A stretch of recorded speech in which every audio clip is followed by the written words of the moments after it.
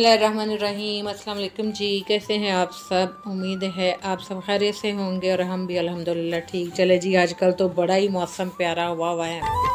बारिशें हैं और बारिश भी इतनी ज़्यादा कि तकरीबन को तीस साल जो है ना रिकॉर्ड टूटा है। और इतनी बारिश हुई लाहौर में तो इतनी बारिश के हर तरफ़ पानी ही पानी। और जो जब न्यूज़ में देखा है हमने कि और मज़ीद बारिशें होनी है तो बस तो फिर तो ना दिल बहुत ही खौफ खौफजदा हुआ। असल में इंसान जो है ना, वो किसी भी हाल में खुश नहीं रह सकता। रहता नहीं है क्योंकि जब पहले गर्मी थी तो हम कहते थे, या अल्लाह पाक थोड़ी सी ठंडा कर दे, थोड़ा जो है ना मौसम अच्छा कर दे। और जब मौसम अच्छा हुआ और मज़ीद बारिशों की जो है वो उन्होंने बताया न्यूज़ में तो दिल बहुत ही खौफ खौफजदा हो गया। कि पहले जो बारिश हुई है इसमें इतना पानी है, वो संभाला नहीं गया।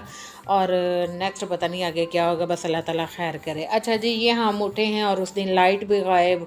गैस भी नहीं लाइट भी नहीं यूपीएस भी ख़राब, पानी भी फिनिश और तकरीबन उन्नीस बीस घंटे के बाद लाइट आई है।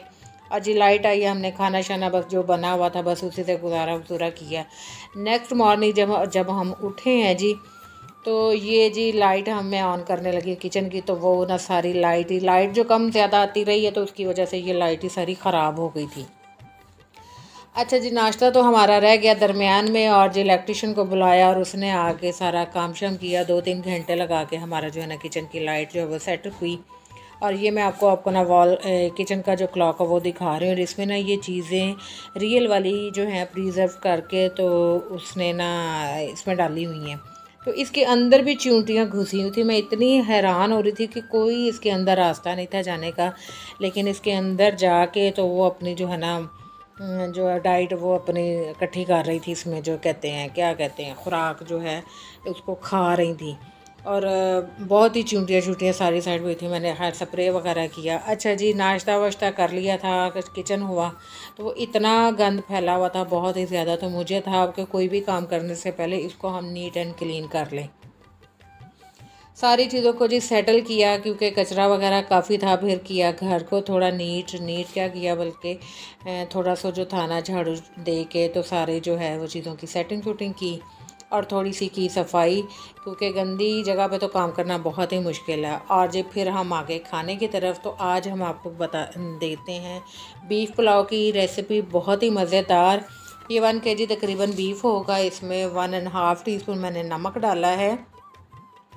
और जी, साथ में इसके जाएगा अदरक का दो इंच का टुकड़ा, लहसुन का एक, जो बंच तकरीबन मैं छील के डालती हूँ। आप चाहें तो पूरा भी डाल सकते हैं, और एक मीडियम साइज़ का प्याज।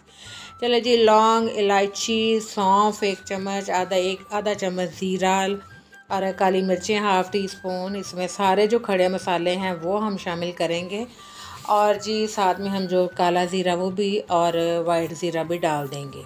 अच्छा जी पानी हम डाल देंगे इस, इतना कि इसमें मैंने प्रेशर कुकर में नहीं बना रही तो पानी जो है ना वो एक दफ़ा इतना डालना कि आपका जो गोश्त है वो गल भी जाए।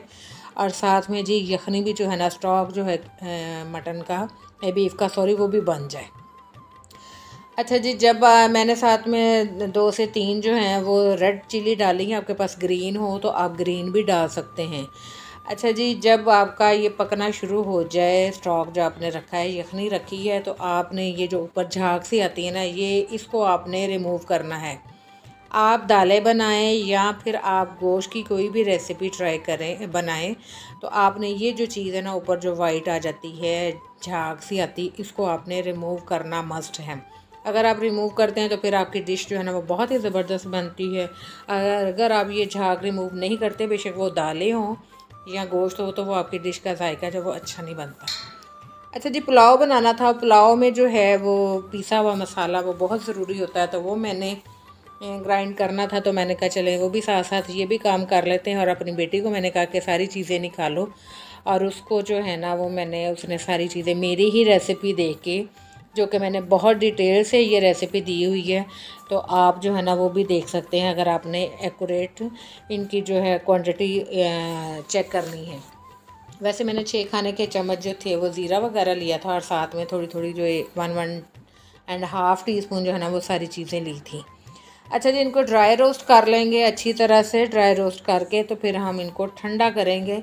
और ड्राई रोस्ट आपने इतनी देर करना है कि बस इसकी जो स्मेल है ना वो बड़ी प्यारी सी आ जाए, ना कि ये जल ही जाए और ज़्यादा डार्क कलर में ना हो जाए। अच्छा जी, फिर हम इसको करेंगे ठंडा। मैंने दो प्लेट्स में डाल के इनको ठंडा किया और फिर हमने इनको किया है ग्राइंड अच्छी तरह से बरीक पीस लेना है आपने। और जी, फिर मैंने इसमें आजकल बरसात का मौसम है तो आजकल जो है वो ख़राब होने का डर होता है, कीड़ा वगैरह लगने का तो आप इसमें जो है कोई भी मसाला आपके पास हो, कौरमा मसाला हो, अचार गोश्त हो या कोई भी बिरयानी बिरयानी मसाला नहीं, सॉरी, जाएगा, लेकिन कौरमा मसाला या फिर इसमें जाएगा अचार गोश्त का मसाला, दो चम्मच डाल दें तो आपका जो मसाला है ना, वो इसमें कोई कीड़ा वगैरह लगने का डर नहीं रहेगा, क्योंकि आजकल बरसात है। चलिए जी मीडियम साइज़ का मैंने एक प्याज लिया है और इसमें मैंने लहसुन और अदरक डाला है। दो इंच का जो अदरक का टुकड़ा था, उसको मैंने चॉप कर लिया और साथ में एक चम्मच जो है खाने का वो लहसुन लिया है।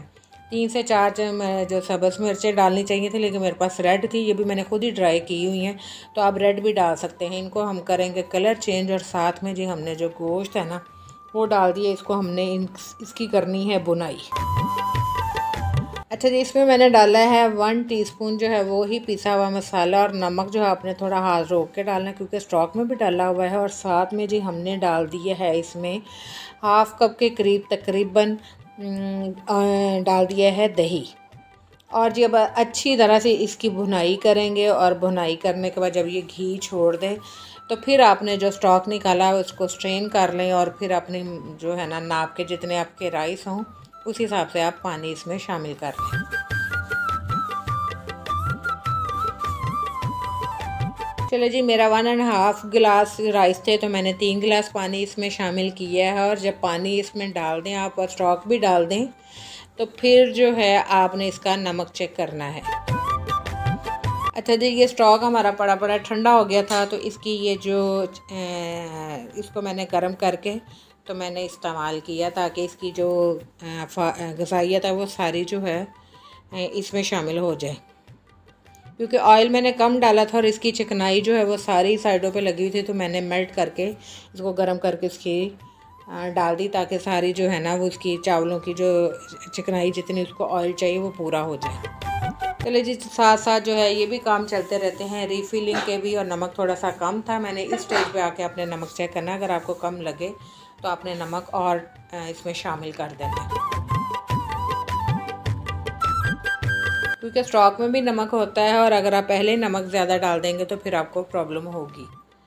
चले जी साथ साथ जब आप किचन में खड़े होते हैं तो आपको होता है कि और भी सारे काम जो है वो साथ साथ कंप्लीट हो जाए। जितनी देर हमारे राइस का जो पानी है वो पक रहा है अभी, उसको टाइम लगना था तो मैंने उतनी देर में जो बर्तन पड़े हुए थे मैंने कहा इनको भी साथ साथ वॉश कर लेते हैं। क्योंकि काम बहुत ज़्यादा इकट्ठा हो गया हुआ था। तो जी, ये हमारे राइस, पानी जो है वो पकना शुरू हो गया और मैंने जो राइस है इसमें डाल दिए। मेरी तो वैसे यही रूटीन है कि मैं साथ साथ में खाना बनाती हूँ और साथ में अपना जो है ना किचन नीट कर लेती हूँ। क्योंकि अभी इसको भी टाइम लगेगा, दस से पंद्रह मिनट लगने हैं, इसको भी दम वाली स्टेज तक पहुँचने तक। तो मैं साथ साथ राइस को भी देखती रहूँगी और साथ में जो है अपने बर्तन भी है वो भी सारे नीट एंड क्लीन हो जाएँगे, धुल जाएँगे। और जी, ये हो गया जैसे ही पानी जो है वो कम नज़र आना शुरू हो जाए तो आप इसको दम दे दें दस से बारह मिनट। और जी, बर्तन धो के किचन साफ़ करने के बाद अब हो गई है खाने की तैयारी। मतलब खाने के साथ जो लवाजमा चाहिए, उनकी तैयारी हो रही है। तो मैंने सैलड बनाया और मेरी बेटी कह रही थी कि अगर ये लेमन स्क्वीज़ ना हो तो फिर आप कैसे लेमन को सॉफ़्ट कर सकते हैं? तो मैंने उसको ये करके बताया कि ऐसे भी आप करके तो लेमन को सॉफ़्ट कर सकते हैं और बड़े आराम से इसका जो जूस है ना, वो निकल जाता है। और जी, ये ये जो चीज़ें हैं ना, खाने को चार चाँद लगा देती हैं, अगर सैलड वगैरह साथ बना हो। चलो जी, जितनी देर हमारा सैलड रेडी हुआ और उतनी देर में राइस का जो है, वो भी टाइम कंप्लीट हो गया था और मैं कहती, इतने मज़े का ये पुलाव बना था नरम नरम और जैसे कहते हैं पंजाबी में हमारी माएँ कहती थी, पोला पोला पुलाव तो ये बहुत ही मज़े का पुलाव बना था। राइस पूरे साबत ही होते हैं, लेकिन ऐसे सॉफ्ट सॉफ्ट दही डालने से तो बड़े ही सॉफ्ट और मज़ेदार बनते हैं। और जी, ये बारिश के मौसम में ऐसा खाना आप इंजॉय करें सिंपल सा, सादा सा खाना, लेकिन बहुत ही मज़े का बना था। ज़रूर ट्राई कीजिएगा। और जी, ये था मेरा व्लॉग चलें जी नेक्स्ट मिलेंगे जल्दी आपसे। तब तक अपना ख्याल रखिएगा। अल्लाह हाफिज़।